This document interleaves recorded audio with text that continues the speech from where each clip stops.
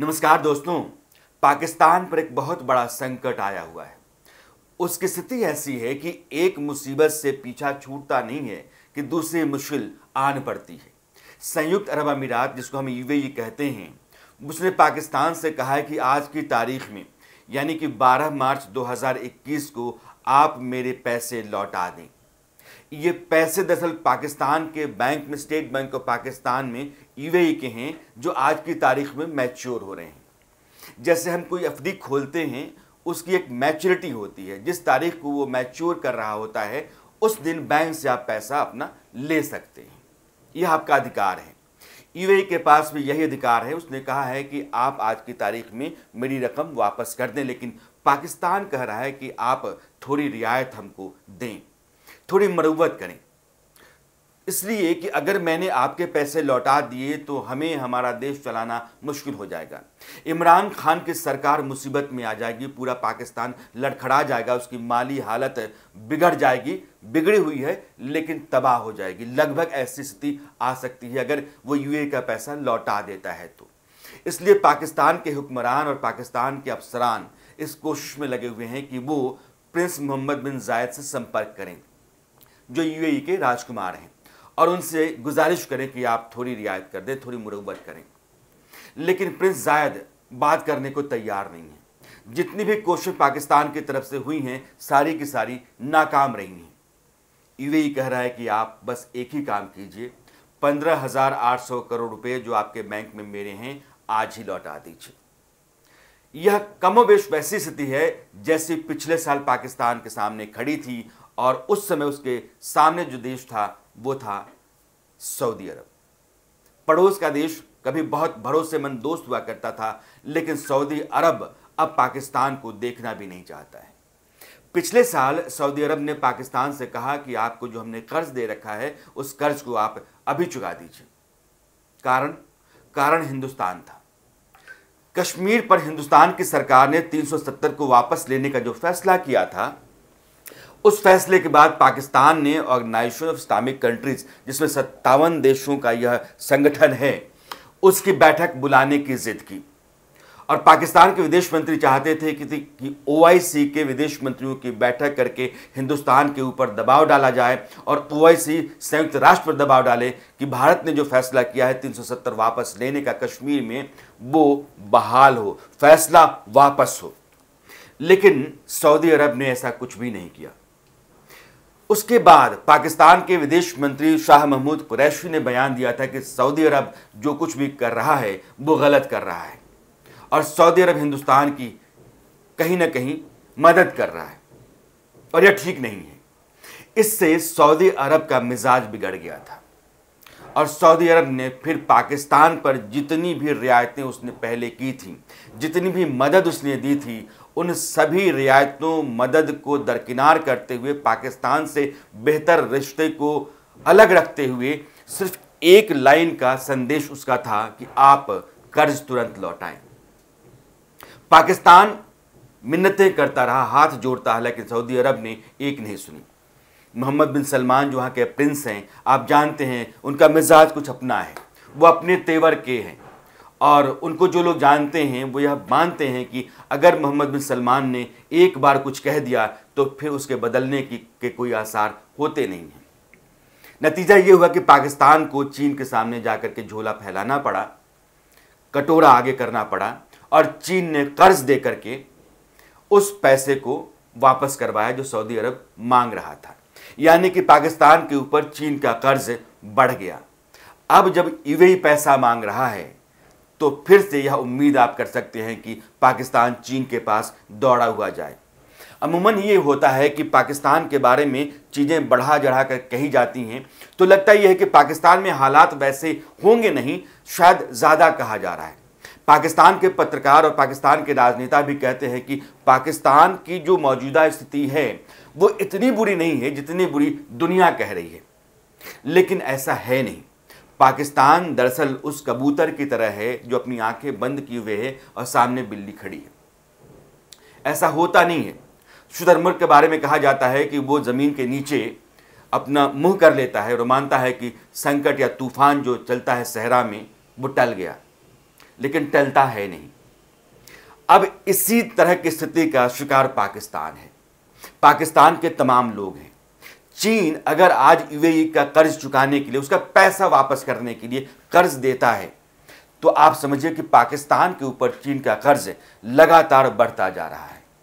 और चीन एक ऐसा देश है जो कर्ज दे करके कब्जा करता है। यही बहुत बड़ी बात है जिस पर आज गौर करना चाहिए। यूएई का पैसा पाकिस्तान लौटाएगा, चीन से लेकर के लौटाएगा, या फिर नहीं लौटा सकता है, क्योंकि पाकिस्तान के पास खाने के लाले पड़े हुए हैं। आगे बढ़ने से पहले पाकिस्तान की जो स्थिति है, उसको एक बार आपको समझा देना चाहता हूँ।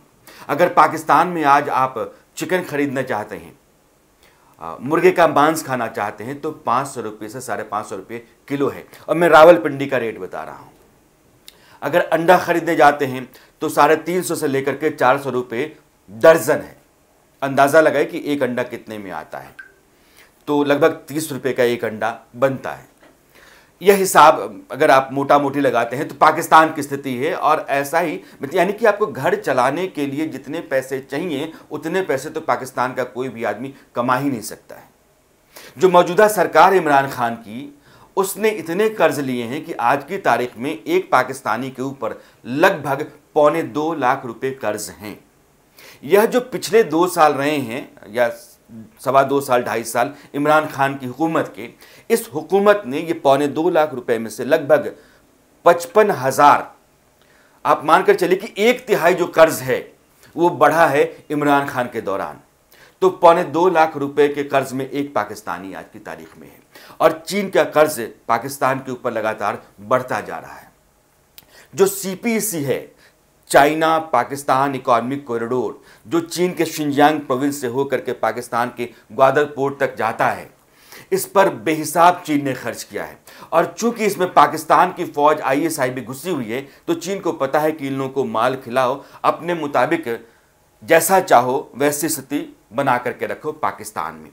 इसलिए पाकिस्तान की फौज को चीन ने पैसे दिए, रिश्वत दी, वहाँ के लोगों को मोटा आसामी बनाया, और अपने मुताबिक जो सीपीसी का पूरा एरिया आता है आप देखेंगे तो बलूचिस्तान से लेकर के शुंजियांग प्रोविंस तक, जो कि पाकिस्तान ऑक्युपाइड कश्मीर से होकर के गुजरता है। तो ये तीन हज़ार किलोमीटर का जो कॉरिडोर है, इस कॉरिडोर के ज़रिए चीन ने पाकिस्तान के ऊपर एक बड़ी रकम कर्ज के तौर पर डाल रखी है।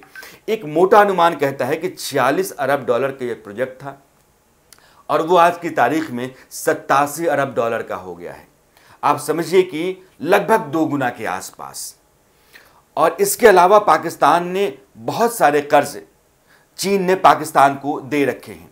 अब पाकिस्तान एक ऐसा देश है जो पुराने कर्जों, जो लिए हुए कर्जे थे, उनका इंटरेस्ट चुकाने के लिए कर्ज लेता है। यह स्थिति पाकिस्तान की है। और जब कोई देश ऐसी हालत में आ जाता है तो उस पर चीन की नज़र कुछ खास हो जाती है। जैसे किसी लाश के ऊपर गिद्ध की नज़र होती है। दो उदाहरण मैं आपको देना चाहता हूँ। एक श्रीलंका है। श्रीलंका में 2005 से लेकर 2015 तक लगभग 10 साल तक एक हुकूमत चलती रही महिंदा राजपक्षे की। राष्ट्रपति थे। और उनका एक सपना था कि वो हम्बन टोटा में एक बहुत बड़ा इंटरनेशनल बंदरगाह बनाएँगे। क्योंकि उस रास्ते से बहुत सारे जहाज़ गुजरते हैं। और उनका यह अपना अंदाज़ा था कि इस बंदरगाह से इतनी रकम आएगी कि इसके लिए जो कर्ज वो लेंगे वो चुका देंगे और बहुत जल्द चुका देंगे।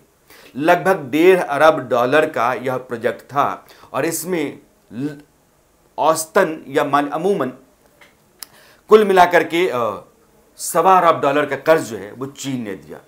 हम्बन टोटा बंदरगाह से जो उम्मीद थी मुनाफे की या पैसा कमाने की, वैसा हुआ नहीं। नतीजा ये हुआ कि हम्बन टोटा बंदरगाह के लिए चीन ने जो कर्ज दे रखे थे, उस कर्ज की वापसी हुई नहीं और फिर श्रीलंका की सरकार को चीन ने मजबूर किया कि आप उस पैसे के एवज में इस बंदरगाह को 90 साल के लिए लीज पर दीजिए।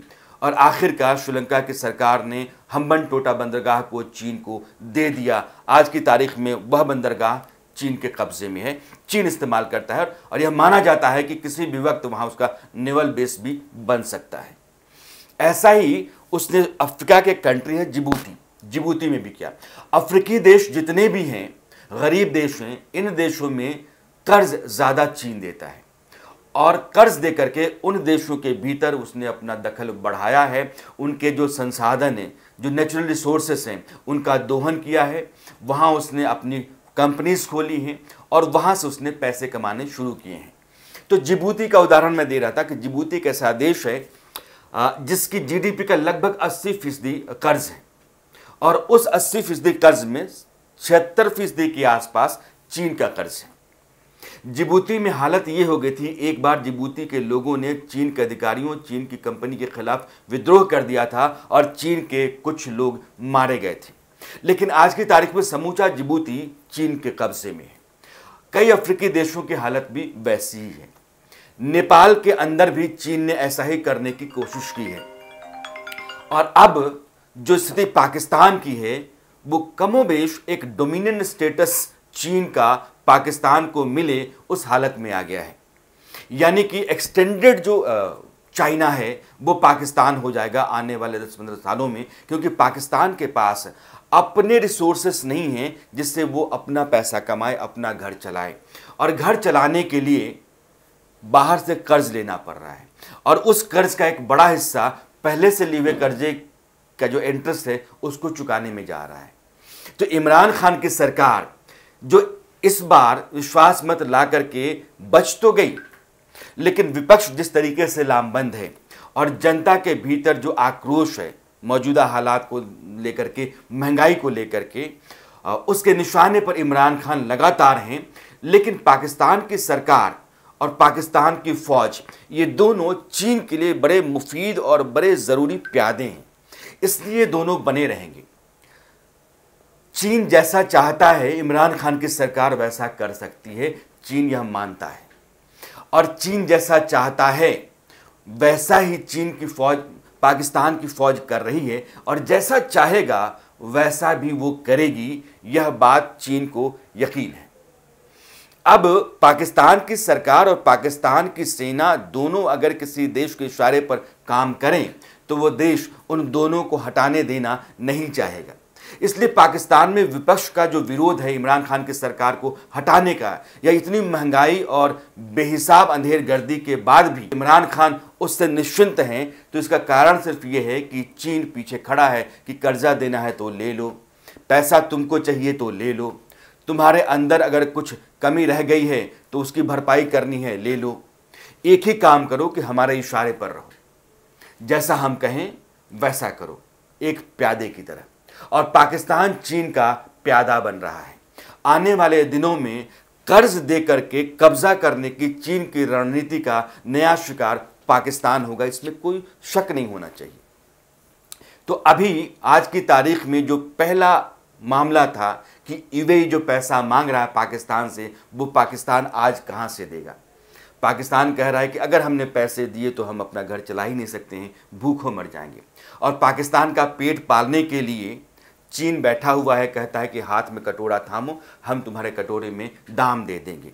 उस दाम के बदले में तुमको हमारा काम करते रहना होगा। तो हो सकता है कि यूएई का पैसा चीन के ज़रिए पाकिस्तान लौटा दे, जैसे उसने सऊदी अरब को लौटा दिया। लेकिन चीन लिए हुए कर्जे की वापसी कर, माफ़ कीजिएगा, पाकिस्तान लिए हुए कर्जे की वापसी करते करते चीन का गुलाम होता जा रहा है और आने वाले वक्त में वो पूरी तरीके से चीन के कब्ज़े में होगा। जो ग्रेटर चाइना का कॉन्सेप्ट है, चीन की मौजूदा हुकूमत का, शी जिनपिंग का, उसका एक हिस्सा पाकिस्तान भी होगा। आज की तारीख में इतना ही। कल हमारी मुलाकात फिर होगी। सवाल नया होगा कोई मसला नया होगा लेकिन तब तक के लिए नमस्कार।